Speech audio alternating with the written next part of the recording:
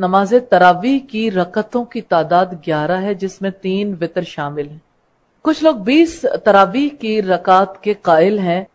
इस बारे में जो रिवायात मिलती हैं, वो ज़यीफ है। हज़रत इबन अब्बास से रिवायत है कि रसूलुल्लाह रमज़ान में बीस रकात नमाज़ और वितर पढ़ा करते थे। इबन अबी शैबा की रिवायत है, volume two, page three ninety three और तबरानी कबीर में बारह हज़ार एक सौ दो नंबर पर हाफिज इबन हजर ने इस हदीस को जयीफ करार दिया है, फतुल बारी की रिवायत है, volume four, page two fifty four उमुल ममिनी नायशा सिद्दीका से रसुल्ला की रमज़ान की नमाज़ के बारे में दरियाफ्त किया गया।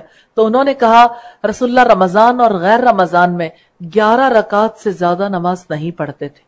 पहले चार रकत पढ़ते थे, बस तुम उनकी खूबी और उनके तूल की कैफियत ना पूछो कि कितनी लंबी नमाज़ होती थी। इसके बाद फिर आप चार रकत नमाज़ पढ़ते थे, फिर तुम इनकी खूबी और उनके तूल की कैफियत ना पूछो, इसके बाद तीन वितर पढ़ा करते थे। मुस्लिम की रिवायत है एक हज़ार सात सौ तेईस, अबू दाऊद की रिवायत है एक हज़ार तीन सौ इकतालीस नंबर पे। नमाज़ तरावी क्या घर में अदा की जा सकती है? या ये मस्जिद में ही अदा होगी? पहली रिवायत हमने जो देखी अब सल्लल्लाहु अलैहि वसल्लम के लिए बाहर निकले, एक रात, दूसरी रात, लेकिन जब आपने देखा ये तो लोगों ने मामूल बना लिया तो आपने मिस कर दिया कि कहीं मेरी उम्मत पर फ़र्ज़ ना हो जाए। सुन्नत रसूल से ये भी साबित है कि मस्जिद में बा जमात नमाज़ तरावी ही अफजल। आप अगर रुके थे तो इसलिए कि कहीं फ़र्ज़ ना हो जाए। और आपने चौथी रात इसी अंदेशे की वजह से गुरेज किया था, उसे छोड़ दिया था। हज़रत उमर ने लोगों को एक इमाम के पीछे जमा कर दिया था। हज़रत उमर के दौर में बाकायदा तरावी की जमात होती रही थी। और हज़रत आयशा की रिवायत से हमें यह पता चलता है कि आप सल्लल्लाहु अलैहि वसल्लम ने तरावी की जमात क्यों तर्क की थी। हज़रत आयशा कहती है कि रसुल्ला ने एक रात मस्जिद में नमाज़ पढ़ी, साहबा ने भी आपके साथ ये नमाज़ पढ़ी दूसरी रात भी आपने नमाज़ पढ़ी तो नमाजियों की तादाद बहुत बढ़ गई। तीसरी या चौथी रात तो पूरा इज्तिमाही हो गया। लेकिन नबी करीम उस रात नमाज़ पढ़ाने के लिए तशरीफ़ नहीं लाए। सुबह के वक्त आपने फरमाया कि तुम लोग जितनी बड़ी तादाद में जमा हो गए थे, मैंने उसे देखा। लेकिन ये ख्याल मेरे आड़े आ गया कि कहीं तुम पर यह नमाज़ फ़र्ज़ ना हो जाए, ये वाक्य रमज़ान का है। बुखारी की एक हज़ार एक सौ उनतीस, मुस्लिम की एक हज़ार सात सौ तिरासी नंबर रिवायत। इस हदीस से यह पता चलता है कि अब सल्लल्लाहु अलैहि वसल्लम ने बाजमात नमाज़ पढ़ी और इसी तरह से आप सल्लल्लाहु अलैहि वसल्लम जब बाजमात नमाज़ पढ़ाते थे तो खातन साथ शामिल हुआ करती थी।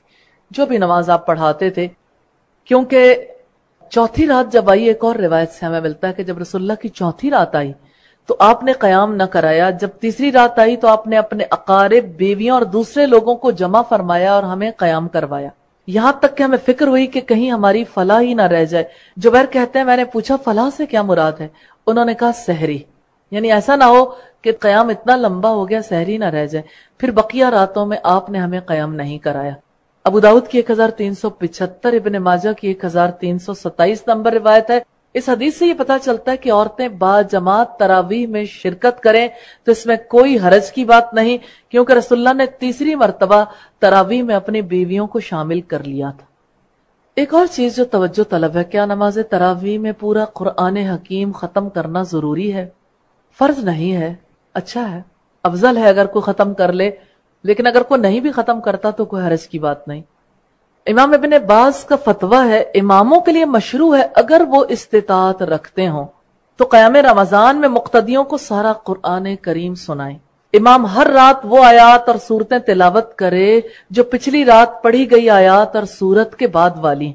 यहाँ तक के इमाम के पीछे वाले नमाजी अपने रब की किताब मुसलसल उसी तरतीब से सुन लें जो मुसहफ में है।